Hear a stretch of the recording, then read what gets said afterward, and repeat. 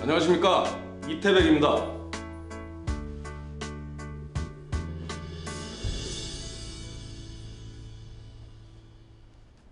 저도 오늘 아침에 서류 검토하다가 알게 됐습니다.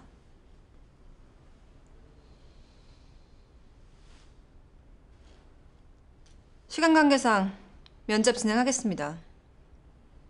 이태백 씨, 질문은 제가 먼저 하겠습니다. 이태백 씨, 저희 회사에 다시 들어오려는 이유가 뭔가요? 굳이 말하자면 큰 물에서 놀고 싶었습니다. 그럼 자이언츠는 더 이상 성에 안 찬다는 얘기인가요? 일주일 전이었나? 거기서 점심으로 짜장면 먹다가 이런 생각이 나더라고요. 상도 받았고 회사도 정상화 시켰고 어? 이러면 내가 자이언츠에 뭐 있어야 될 이유가 없겠구나 싶더라고요. 그날 이후로 업계 1위인 BK헤드 같은 곳에서 일하고 싶다는 열망이 생겨서 견딜 수가 없었습니다. 재밌네요. 그럼 저희 회사에서 왜 이태백 씨를 받아줄 거라고 생각한 거죠?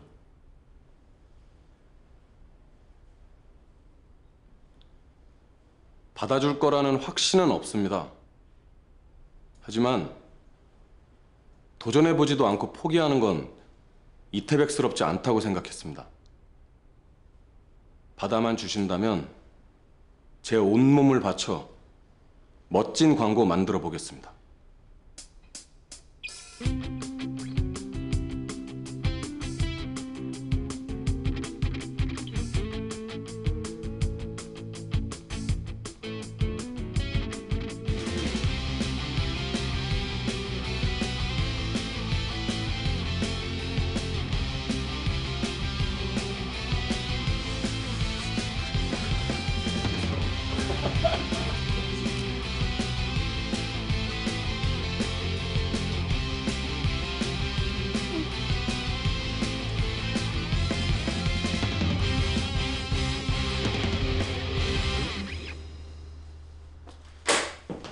말을 안 한 겁니까?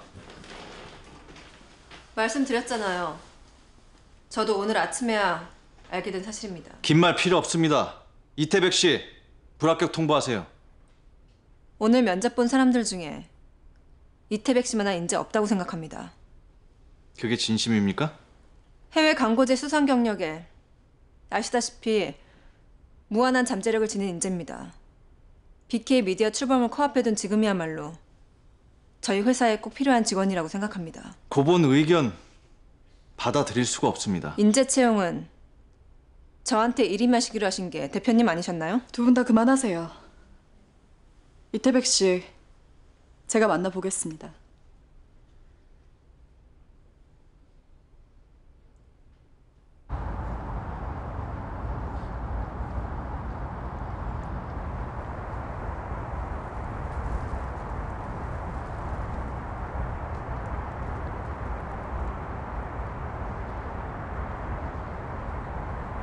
일찍 왔네요. 오래 기다렸어요?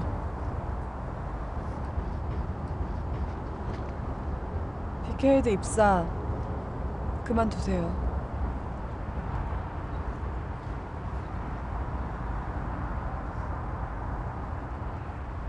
오늘 일 때문에 많이 놀랬나 보네. 근데 어떡하죠? 앞으로 놀랄 일 훨씬 더 많을 텐데. 태백 씨 이래봤자 달라지는 거 아무것도 없어요.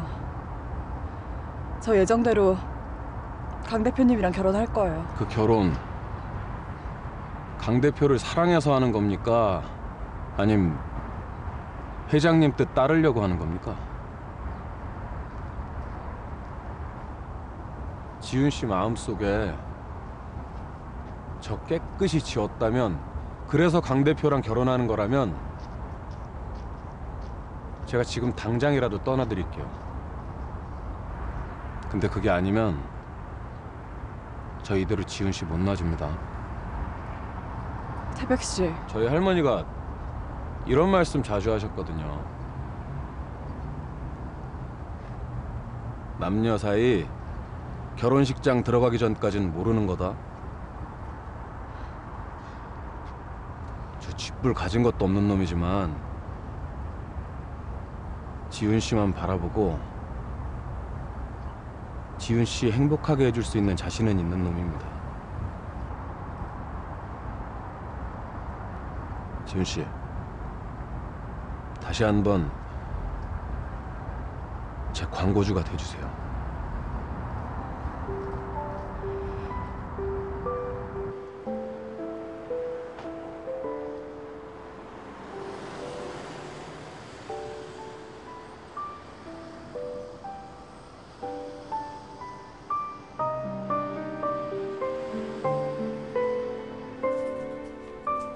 지금 지은 씨 엄청 혼란스러울 거다. 결혼한다면 마음 먹는 게 그게 보통 일이냐? 그걸 제가 왜 모르겠어요. 근데 어떡합니까? 시간을 두고 천천히 다가가고 싶어도 결혼식 날짜까지 잡혔는데 서두를 수밖에 없잖아요. 태백아,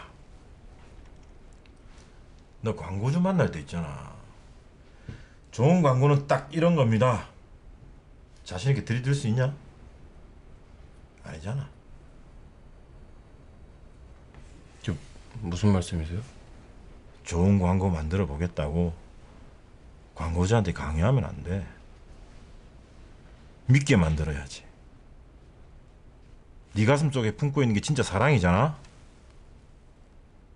그럼 지은 씨한테 자꾸 보여주려고만 하지 말고 그냥 옆에서 뚜벅뚜벅 걸어가. 그러다 보면 지은 씨도 믿게 될 날이 오지 않겠냐?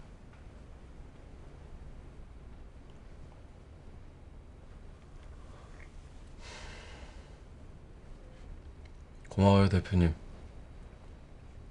근데 그렇게 사랑에 대해서 잘 아시는 분이 이혼을 왜 하셨대? 결혼 생활은 임마 정글이야 정글 임마 어 이거 이 달달한 연애랑은 차원이 다르다고 이 새끼야 알겠습니다. 야 너도 살아보고 말해 임마 두분 취향을 고려해서 클래식한 느낌으로 골라봤습니다.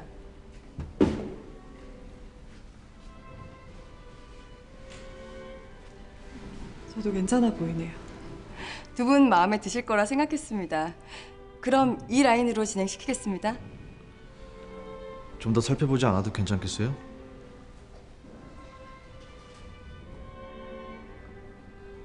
평생 지닐 물건이니까요. 선택의 후회 없게끔 신중하게 고르는 게 좋을 듯하네요.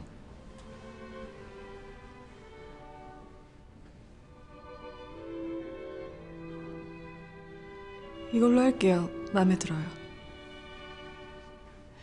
그럼 제작 바로 들어가겠습니다.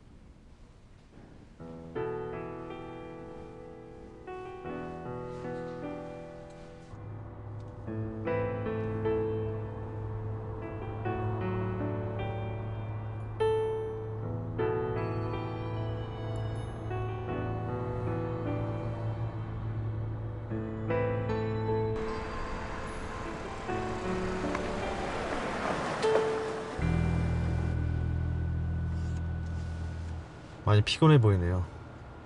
들어가서